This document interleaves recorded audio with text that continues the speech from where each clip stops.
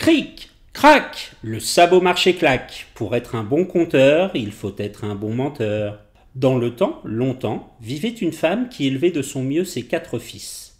Titilifi, Tatalaf, Kotolofi, Katavoum, le petit dernier. Katavoum était tout petit, mais très dégourdi.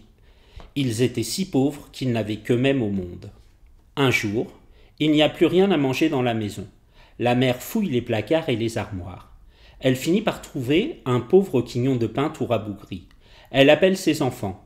Les garçons, nous allons faire un jeu. Je vais vous bander les yeux et vous emmener dans la forêt.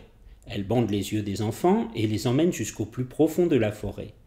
Quand ils sont bien loin, elle leur retire les bandeaux et partage le quignon de pain en quatre morceaux égaux. Tenez, voici un petit bout de pain pour chacun. Pendant que vous mangez, je m'en vais chercher des racines et je reviens.